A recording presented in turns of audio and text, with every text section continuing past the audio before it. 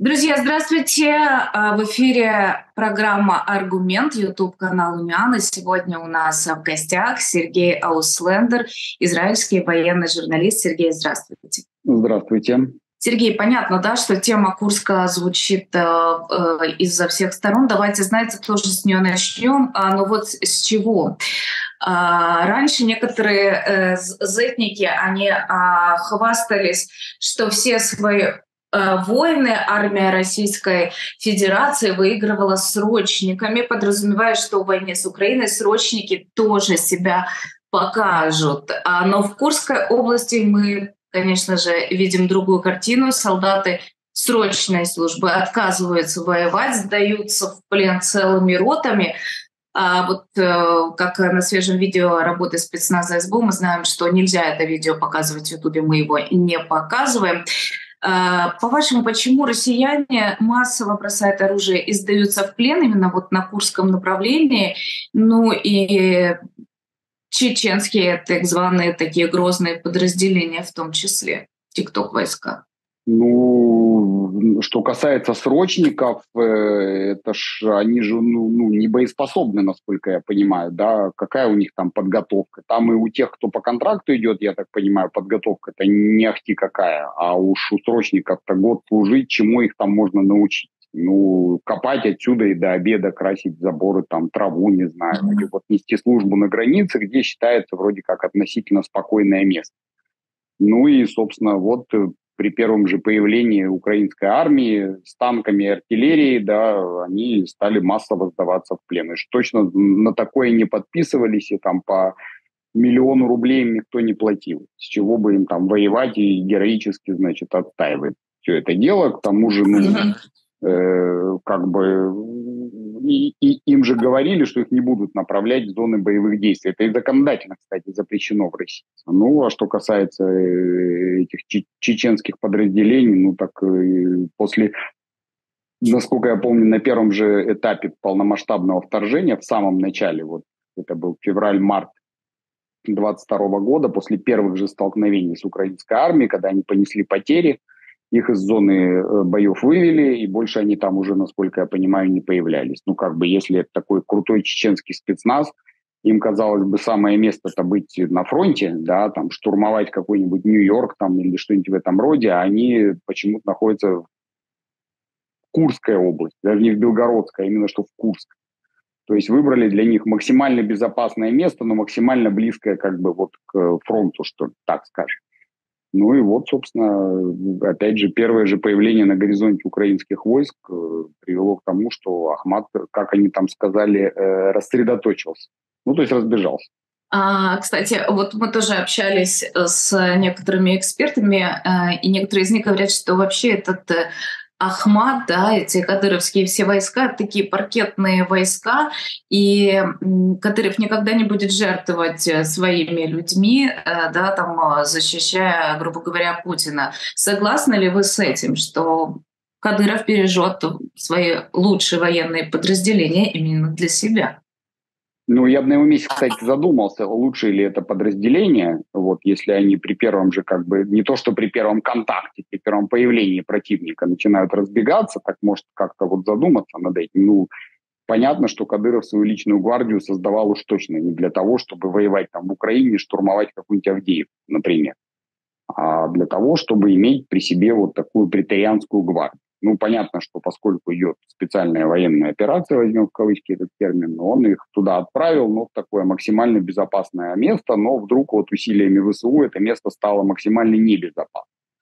Ну и все, и тут приказ наступать назад. И они дружно все перегруппировались там куда-то в направлении, значит, э, Курска, а не в обратном направлении. Кстати, многие аналитики констатируют, что прорыв а, ВСУ на территории Российской Федерации так и не заставил а, Путина а, снять силы с Донбасса. Да, мы видели уже обращение к жителям Покровска по поводу эвакуации, потому что близко российские войска, то есть мясное наступление России там все-таки продолжает, э, продолжается. Насколько с военной точки зрения это рациональное э, решение? Почему Путин, неужели он настолько одержим Донбассом, что готов там пожертвовать территориями России э, ради того, чтобы вот пойти на Донбасс, завоевать Донбасс и так далее, освободить, да, в кавычках? Я просто понятия не имею, э, чем его целеполагание. Ну, и как бы его генеральная цель понятна – уничтожить Украину как государство, чтобы вот на карте мира не было такого государства, как Украина. Это была бы часть там этой вот империи его э, бывшего Советского Союза, там, не знаю, бывшей Российской империи, какая она ему там видится, в какой конфигурации, я не знаю. Пока не, не замечена, насколько я понимаю, переброска войск с Донбасса. К тому же есть несколько таких тупиковых направлений на фронте, вроде вот э, Херсонской области, где э, там у них целая десантная дивизия ведет бои с украинцами в дельте Днепра на островах. Они что-то там воюют, непонятно зачем и непонятно какой целью, потому что ни украинский десант через Днепр пока невозможен, ни российский, соответственно, в обратном направлении. Вот оттуда можно снять часть.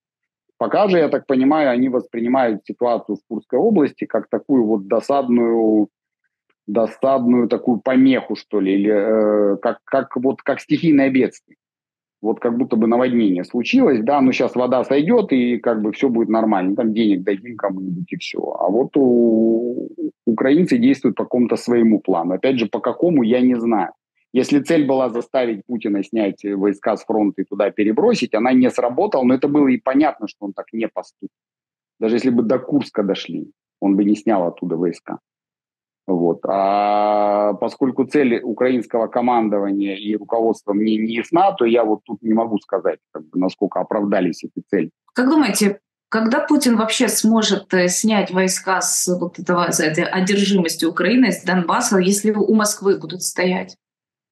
Снимет? Если у, у Москвы будут стоять, наверное, снимет. Но если украинские войска предположить, что будут стоять у Москвы, в чем я сильно сомневаюсь, просто в этом смысла никакого нет, то тогда уже российских войск на Донбассе не будет. Первоначальная задача-то не, не дойти до Москвы да, и захватить какие-нибудь Химки, а первоначальная задача свою территорию освободить. Поэтому, наверное, то он снимет в этом случае, но вот я боюсь, что там снимать уже будет некого в таком случае, но это пока сценарий такой из области фантастики, конечно учитывая нынешнюю ситуацию на фронте. Вот вообще интересно, да, там тяжелая ситуация на самом деле на востоке Украины. Как бы вы ее охарактеризовали с вашей точки зрения ну, для наших зрителей?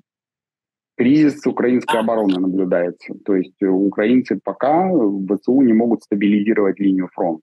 То есть продвижение у россиян сохраняется. Оно даже несколько ускорилось. Опять же, в абсолютных цифрах это немного. Ну, раньше не проходили там, 300 метров в сутки, сейчас проходят километр в сутки. Но все равно э, они проходят так или иначе. То есть они потихонечку-потихонечку оттесняют ВСУ, продавливают оборону, прогрызают ее. Это все делается, конечно, ценой колоссальных усилий, гигантских потерь. Но кто там когда считал эти потери? Да, отродясь такого не было. Поэтому пока там сохраняется такой кризис и опасность. Крушение фронта даже существует. То есть если они все-таки дойдут до Покровска и перережут трассу Покровск-Константиновка, то это грозит большими проблемами. Ну, вот дальше вопрос, э, насколько вот украинское командование сможет это все дело стабилизировать раз. И возвращаясь к тому, о чем говорили, в чем был смысл вот этой курской операции. Я его пока, я цель пока не понимаю. Я не, не говорю, что это было бессмысленно, боже упаси. Если начали вот эту операцию, задействовав такое количество резервов, которые так нужны там сейчас на Донбассе, значит, какая-то цель была серьезная, помимо медийного эффекта хотя и медийный эффект, надо сказать, получился uh-huh. совершенно оглушительный. Но только ради медийного эффекта затевать э, такое наступление, я вот как-то в этом сильно сомневаюсь. Ну, э, будем ожидать. Кстати, как думаете, захват АЭС э, может произойти? Пока я не вижу к этому предпосылок. До, до этого еще нужно дойти, ее еще нужно захватить, потом ее нужно удержать. Это еще дело такое непростое, скажем так. Да? Но то, что угрозу создали для АЭС, это факт. Вот. Недаром же там пропаганда российская завыла об угрозе ядерным объектам, как будто это не они, а какие-то инопланетяне захватили Запорожскую АЭС, да, и на данный момент я пока не вижу предпосылок. Но все может быть, мало ли, там, опять же, резервы-то остаются украинского командования, их в бой еще не вводили. Не все резервы введены в бой, поэтому все еще может быть. Вот. А захват Курской АЭС, это был бы, конечно, такой очень серьезный шаг и серьезный такой геймченджер, я бы сказал. То есть, ну, там называли какую-то эту вот экзотическую версию, поменять потом Курскую АЭС на Запорожскую АЭС, что-то в этом роде. Но я опять же тоже э, сильно сомневаюсь, э, что это там произведет какое-то впечатление на Путина там или на всю эту банду Кремлев.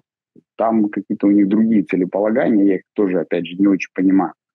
Поэтому посмотрим. Тут сейчас вот время покажет, что называется, как это все будет развиваться.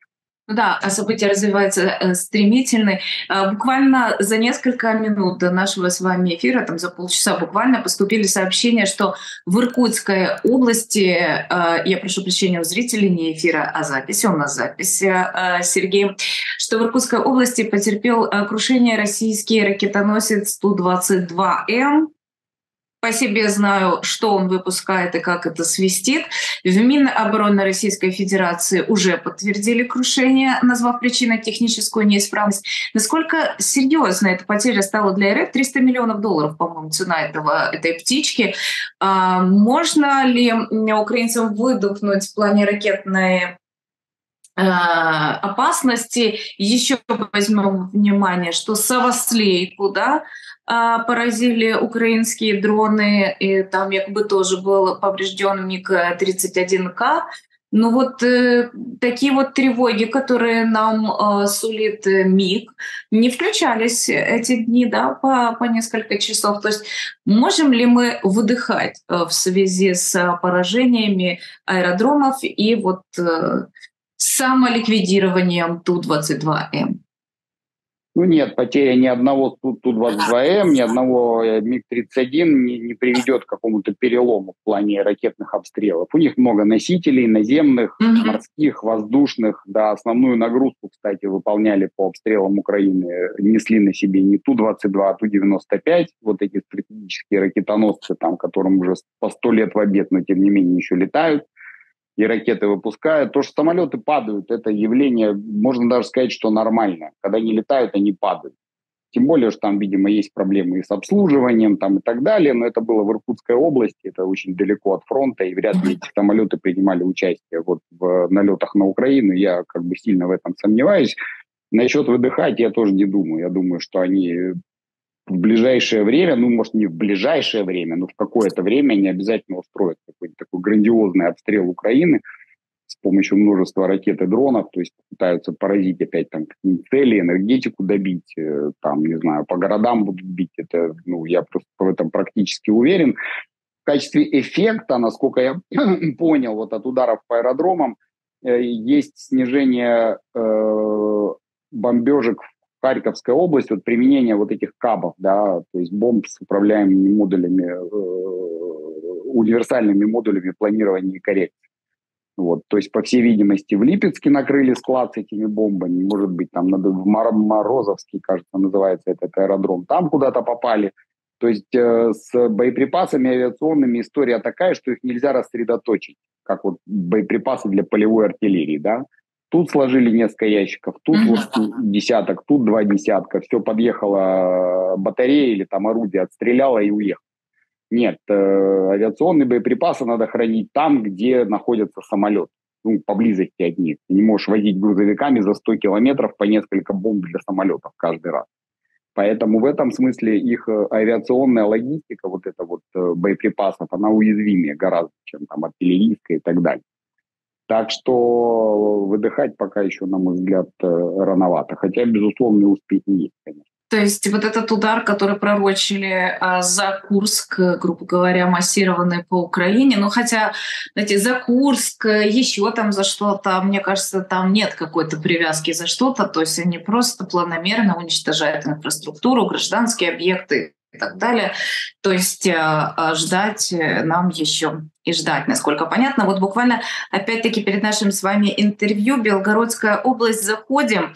Пришло сообщение, что местные телеграм-каналы пишут, что ВСУ зашли в Белгородскую область, село Вязово, которое находится в трех километрах от КПП Колотиловка.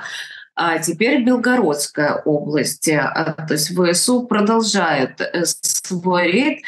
Опять-таки, что, какая область может быть следующий вариант? То есть, ну, любая вот, область, вот, которая... Да, я на руках показываю. Да, да, любая область, которая примыкает к Украине, любая буквально. сколько их там, Белгородская, Воронежская, Курская, Брянская. Вот в любую область можно заходить, потому что плюс-минус граница везде охраняется точно так же. Одним из последствий, даже завтра украинцы выйдут из Курской области, то все равно российскому командованию придется формировать какие-то группировки прикрытия границы, не вот эти дуты на базе срочников и Ахмат, mm-hmm. а какие-то там собирать боеспособные части, мобильные, да, с техникой и держать их там где-то, э, чтобы купировать прорыв. Одну такую группировку не сформируешь, ее быстро не перебросишь. То есть, соответственно, нужно будет их несколько там держать где-то вот в таком в относительно ближнем приграничии, на каком-то таком вменяемом расстоянии от границы, там 50 километров, скажем, да, и иметь какие-то части прикрытия границ тоже боеспособны. Это все нужны люди, техника, офицеры там и так далее, где их всех, всех взять, когда они все там штурмуют Нью-Йорк, Покровск и Торецк. Ну, Покровск еще пока, слава богу, не штурмуют. Но в целом э, у них проблема сейчас с резервами тоже несмотря на вот эти уже какие-то просто абсолютно заоблачные выплаты, которые они предлагают за подписание контракта, же в американской армии столько не платят вообще, отродясь не платили. Поэтому сейчас украинцы могут войти где, где захотят, где решит командование. Я же говорю, резервы есть. Плюс я вот отметил, что украинское командование эти дни, пока идет операция в Курской области, активно маневрировало резервами вдоль границы не переходя ее, создавая такую вот обстановку нервозности. И им везде мерещились там то танки украинские, то, значит, там, не знаю, какие-то полчища там, которые сейчас через границу хлынут, хотя там нет не полчищ, не так уж много танков там, но вот появление одного танка, да, у них равняется там, появление, не знаю, танкового полка целого. И это тоже такая часть психологической войны, почему нет? Ну вот странно, вгрызается он своими когтями в украинские земли и на свои наплевать. Вот лично мне это даже вот просто как человеку непонятно. То есть ну, тут я вообще необъяснимая история. То есть получается... Тоже непонятно. Как бы все было же хорошо. Все было хорошо, все было нормально. Денег куча. Олимпиаду провели в субтропиках, зимнюю. Вот. Ну, понятно, что за такие деньги, за которые они провели Олимпиаду, можно было ее в Израиле вон в августе провести, да, зимнюю но там снег, не знаю, сюда возить самолетами, но не суть, за свои гуляли, как бы, имеют право, ради бога. Ну, просто зачем было устраивать весь этот ужас, мне это вот абсолютно непонятно. Я полагаю, что, э, ну, это типичная, в общем, болезнь диктаторов, это э, стремление к маленькой победоносной войне, которая всегда получается не маленькой и не победоносной. Вот так когда-то Саддам Хусейн напал на Кувейт, да, быстро его захватил там буквально за несколько дней. И все, и как бы вот дело в шляпе, потому что в стране был кризис, все плохо, долги, нужно было чем-то это все прикрыть. Вот прикрыли маленькой победоносной войной. Потом американцы очень быстро собрались, перебросили свою армию на другой конец планеты и навешали там Саддаму так, что он уже больше от этого и не оправился никогда на самом деле. А через сколько? Через 10 лет добили. Так что э, эти все маленькие победоносные войны всегда заканчиваются примерно одинаково. Но они и начинаются примерно одинаково. Сейчас Киев за три дня захватим, да, мы же захватим Киев за три дня, да, Владимир Владимирович, конечно, захватим. Спору нет, что там армия разбежится, с цветами будут встречать. Они давай, значит, из джавелинов палить там, значит, э, и вообще оказалось, что украинская армия совсем не такая, как ему писали в докладах, видим. И все, и вот в итоге уже этот ужас продолжается. Пошла вторая половина третьего года войны, и конца края это не видно. И Украину они калечат, спору нет. Они, конечно, ужасные вещи творят, там разрушают все, но они же себя разрушают тоже буквально. Вот. И странно, что до них это не доходит потому что у них даже картинки победы-то нет как таковой. Да? В чем победа бы заключалась? Понятно, в чем. Это вот в Киеве, чтобы трехцветный флаг над Крещатиком стоял. И сидел бы там в президентском дворце или где там, как это называется у вас, место, где президент сидит, да, там какой-нибудь Янукович. Ну, уже совершенно очевидно, что не будет там торчать флаг. Администрация. Там, да, да, наверное. Вот. Э, э, та не будет там сеть никакой Янукович. Ну все. Ну, офіс президента. Зараз він називається офіс президента. Да, да, на Банковой, насколько я понимаю, он там находится. Окей. Ну, да. Не суть, да. не имеет значения. Я к тому, что у них нет четкой картинки победы. Как вот в чем она заключается. И все, и в результате э, все для фронта, все для победы. Плюс отношение к войне-то в России, понимаете, эту войну воспринимают до сих пор Вот если там отъедете вы от Москвы там, на восток, километров на 20-30, ее воспринимают как примерно войну в Афганистане. Где-то там далеко чего-то идет, какая-то война, СВО называется, буковки Z везде. Ну окей, как бы, зато там вот соседа там э, денег много появилось, пришел, правда, фронта без обеих ног, но зато ему там два лимона дали, там, круто, как бы там всем поселкам бухали три дня. Вот что-нибудь в этом роде. Они эту войну воспринимают как колониальную. Где-то она там идет далеко. Вот. И до них еще даже до самих не дошло, в какую пропасть их столкнули вообще, что с ними со всеми будет в конце концов. Но понимание это придет, просто боюсь, что придется огромную цену заплатить за это. И им, ну и вам, к сожалению, то. Вот. Увы, это так получилось. Такая вот выпала вам судьба историческая. Я, знаете, сейчас вспомнила а, один из ваших эфиров на вашем YouTube-канале. А, буквально один из последних. Друзья, кстати, напоминаю, что а, можно подписаться и нужно а, на канал Сергея Услендера. Ссылку на него вы найдете в описании. На Униан, кстати, тоже не забывайте подписываться. И на Аргумент у нас уже есть а, свой YouTube-канал нашей программы, так как материала достаточно много. Так вот, вы говорили о том, что даже э, вот э, прорыв Курска, э, Курской области, да, Курской э, границы, заход. Кстати, уже военную администрацию открыли. Сырский доложил о том, что военную администрацию в Курской области. Как комендатуру, открыли. да. Так вот, тем россиянам, комендатуру, да. Вот. Тем россиянам, которые живут далековато от Курской области, им, в принципе, ну, как бы и что? С тем все равно, это удивительно. Да. Да, ну вот это, ну как, как, как вообще такое а, может быть? То есть, получается, можно оттяпать кусок России, им все равно, а за этот Донбасс они грызутся зубами, убивают там тысячи и тысячи по тысяче в день э, э, российских так называемых солдат, и им все равно. Удивительно рядом, конечно. Ну, просто я понимаю, что у вас нет ответов на эти вопросы. Я понимаю, ну, что как они сказать, э, нет, ну, вот просто... Россия страна с разорванными горизонтальными связями, понимаете. Э, в России э, это отчасти идет из ее территории гигантской, ненаселенной, да, совершенно. То есть жителям Читы абсолютно ж до фонаря, что происходит в Белгороде. Вот просто абсолютно. Ну, только если не живет там какой-нибудь прям близкий родственник.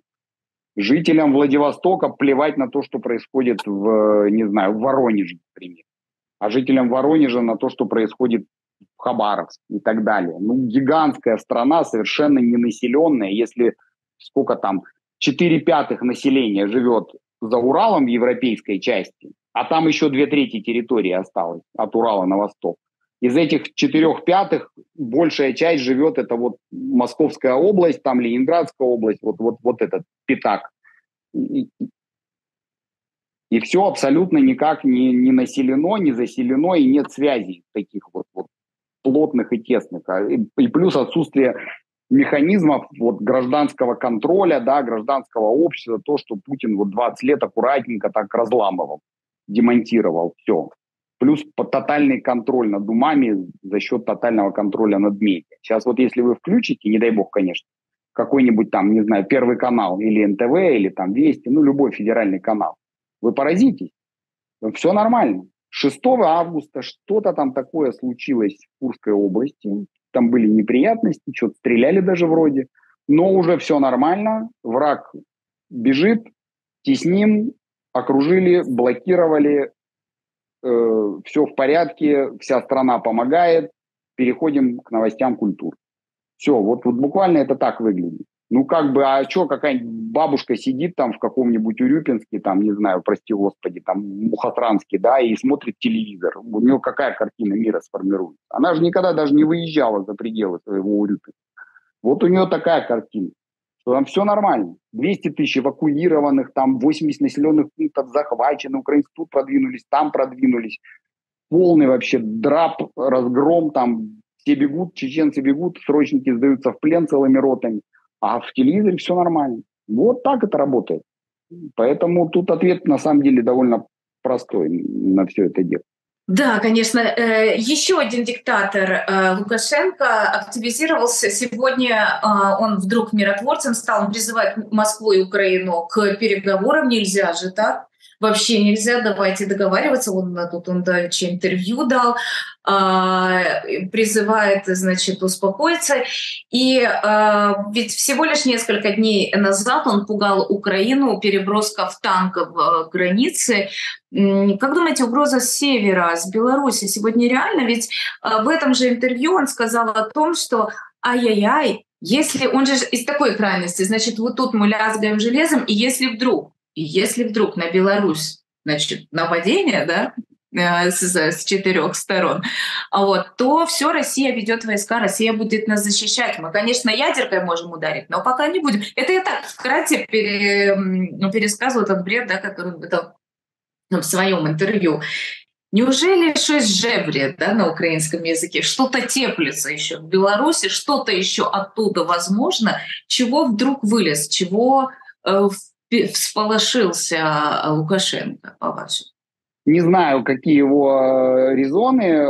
Он вообще же исключительной хитрости человек, да, прямо скажем. То есть вот он много-много даже не лет, а скорее десятилетия умудрялся вот лавировать между Западом и Россией, от тех брал деньги, с этими договаривался. Ну, в какой-то момент это все, конечно, прекратилось, потому что после всех этих ужасов, какой это был год у нас, 20-й, да, когда там разгоняли в Минске протесты, когда там весь этот кошмар творился, Окрестины и вот это вот все, понятно, что на нем там крест уже поставили. Но он надежды не теряет, он понимает, что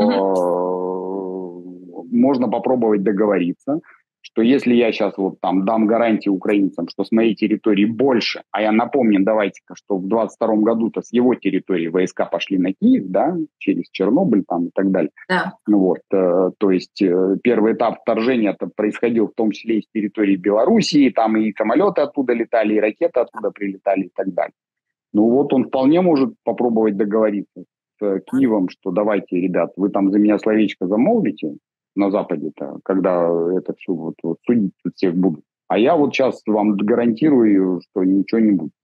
Вот. Ну и плюс, конечно, нельзя же серьезно его, на веру его слова воспринимать. То, что он там начал танки двигать туда-сюда, это все делалось для того, чтобы изобразить бурную деятельность, потому что из России там начали гавкать военкоры активно, всякие писать о том, что вот то, что Лукашенко отвел войска от границы, что там те войска? Это белорусская армия, ну ж людей смешить этой армии натурально. Вот, ну, ну, это же просто анекдот, а не армия. Какая там армия в Беларуси?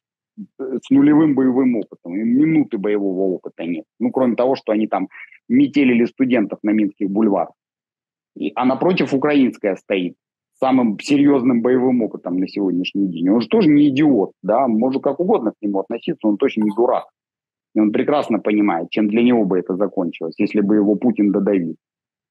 Вторжение с территории Беларуси возможно, если россияне соберут там большую группировку. Но это как-то незаметно, на мой взгляд, сделать невозможно. За этими же вещами следят. Кроме того, насколько я знаю, это направление укрепляли очень сильно. То есть в случае необходимости перебросят туда резервы и все, и все будет нормально. А самому Лукашенко нужно как-то вот продолжать вот это вот, чтобы вот как бы и с Россией не поссориться, потому что деньги нужны, и он от них зависит уже вассально абсолютно. Изображать себя самостоятельного политика, и вроде как миротворец, и диалог какой-то там, и Запад, и все дела, и тут же одновременно НАТО там топчет сапогом, и все это у него вот прекрасно mm-hmm. в его голове помещается и уживает. Это уже такая не биполярка, а триполярка, я бы сказал. Ну, сто процентов. Знаете, э, вот я когда все это смотрю, в этом всем э, купрысаюсь, ковыряюсь, да, э, и так выдыхаю, думаю, Вспоминаю фразу из Ивана Васильевича «Меняет профессия». Знаете, Иван Васильевич, когда вы говорите, такое чувство, что вы бредите. Вот это все, что несется да, да. от этих диктаторов, просто ну, вот, ну, не налазит на здоровую голову.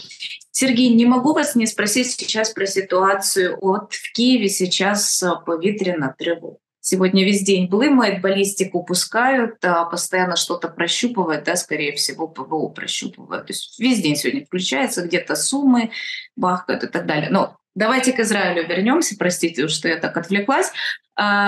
Как, какова сейчас э, ситуация э, в Израиле? В каком векторе движется ситуация в Израиле? Ну как, война у нас продолжается, в Газе еще идут боевые действия. Вот тут давеча была оценка американцев, которые сказали, что в военном смысле Израиль добился гораздо большего, чем они рассчитывали.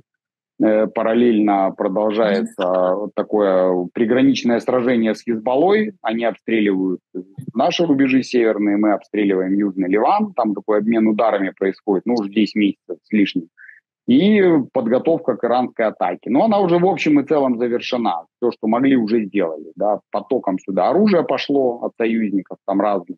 Армия была приведена в состояние максимальной боеготовности. Сейчас вот уровень боеготовности даже потому что долго держать армию невозможно вот максимальной готовности.